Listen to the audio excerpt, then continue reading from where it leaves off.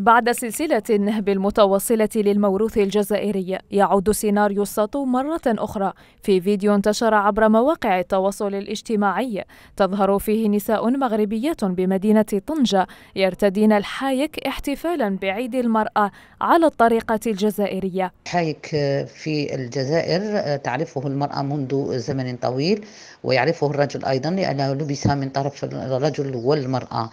تراث المغرب الكبير يشتركوا في آه، تاريخه ويشتركوا في آه، تراث آه، كبير. ولكن هناك مميزات تميز كل دولة عن أخرى. فالتراث الجزائري له ميزاته له خصائصه.